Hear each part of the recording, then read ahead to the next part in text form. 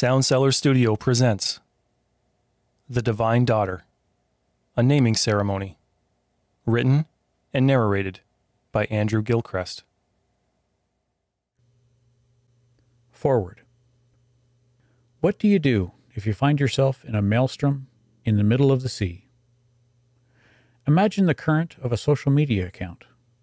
Imagine the flow of a television nightly news report. Stories crowd into the spaces, breaking against the constant movement of the news ticker.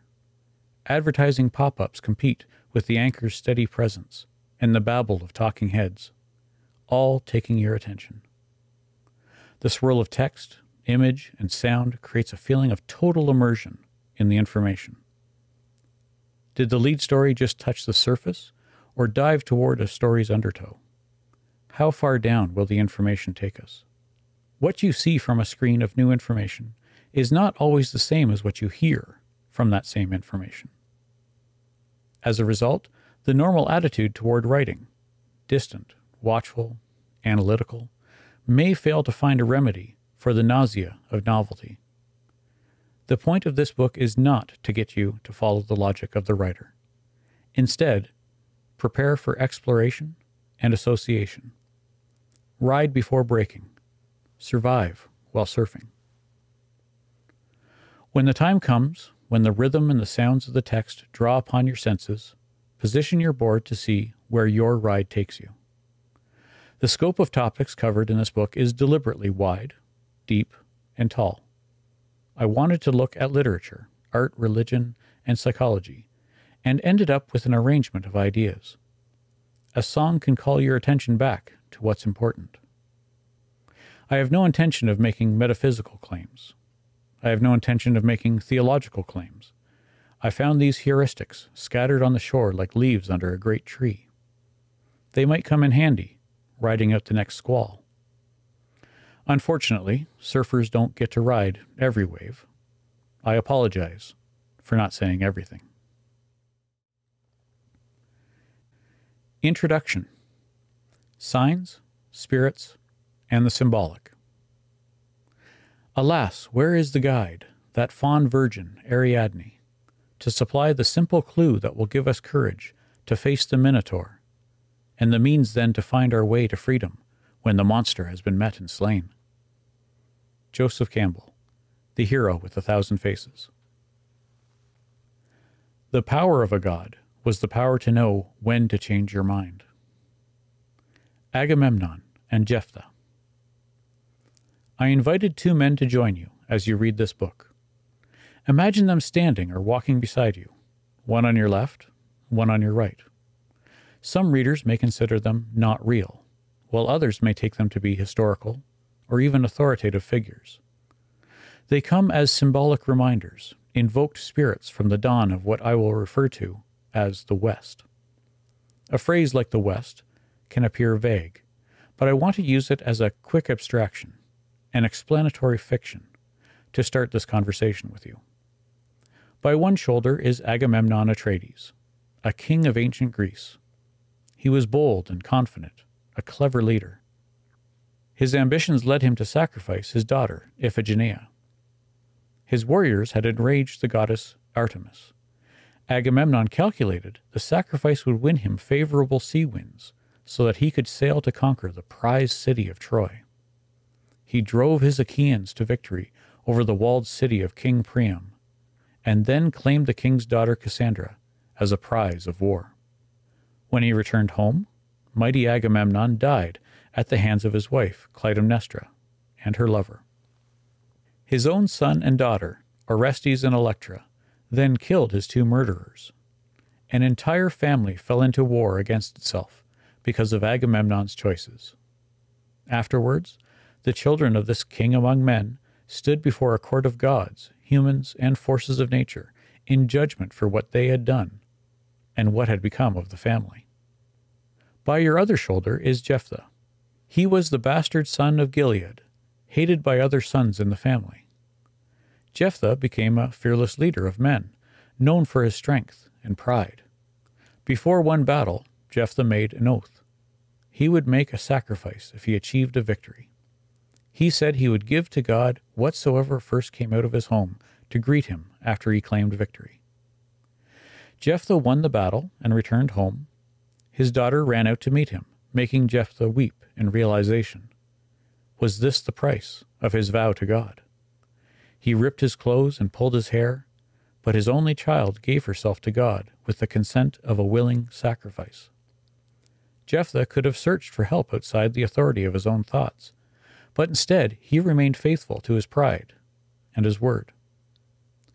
The experience changed the man, according to the story. He measured his oaths differently, knowing the true costs involved. Jephthah left a legacy as a mighty judge of Israel, but by the end of his story he became a broken man. Pieces of his body were scattered and buried, left behind in the cities of Gilead.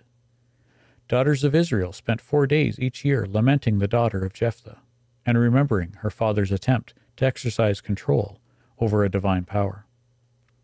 The sacrifices of these two men are hard to understand today.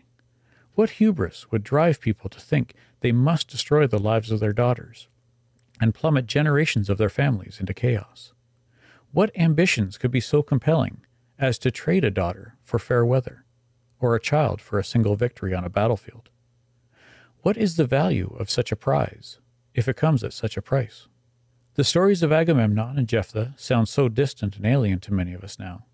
Yet in our globally connected world, the West has sent soldiers of war and representatives of peace over practically every sea to fight for whatever the West is supposed to stand for. Soldiers have followed orders from officers much like these two men and faced other individuals just as strong willed and ambitious. There are people in this world who will deliberately use a daughter as a shield in battle. There are leaders in this world who will forcefully train 10 year old boys to fire rifles and charge at an enemy. It can seem too horrible to imagine people acting this way, too hard to believe such acts could be real. Today, we quickly discriminate between fiction and fact, mythology and history, religion and science, as easily as we identify the differences between colors like yellow, red, and blue. But when it comes to things that move us, the things that guide our own actions, we shift between event and story, assumption and imagination, as the sailors who followed Agamemnon, gazing into what the writer Homer might have called a wine dark sea. While you read this book, you can imagine that you hold your own daughter the two figures of authority standing beside you act as cautionary symbols of just what is at stake, what motivated people are willing to do to reach their goals. From actions to observations. On December 16, 2012, a bus driver, five men, and one teenage boy raped a woman in Munirka, a neighborhood of New Delhi. Jyoti Singh was a physiotherapy student enjoying a night out with her male friend. They were returning home after seeing the movie Life of Pi. He was beaten unconscious. She died in a hospital bed days later. India's courts found the driver and passengers guilty of rape and murder. India's courts sentenced the men to death and the minor to three years in a reform facility. Police records suggest stories like this can be quite common. A rape is reported on average every 18 hours in some neighborhoods of New Delhi. But something made this one event different, almost novel. Of over 700 rape cases reported in New Delhi in 2012, one became global news. What made this bit of news different? People paid attention to the story, horrified by the graphic violence, and felt compelled to do more than just let the case go. Citizens of India gathered in protest and outrage. It wasn't enough to let old ways continue. More than a billion people worldwide heard about the news story. Courts tried the accused and enforced sentences. Some people continued to work for further changes in the Indian culture and legal system. The attention of the global public moved on to other stories. What compelled these men to behave like this? What possessed them? And what compelled so many people to react and do something about this single violent event? Did all the attention put an end to the acts of rape or the culture of shame in New Delhi, in Asia, or in any part of our world? When I first heard of Jyoti's story, I wondered what motivations could be behind such violent acts.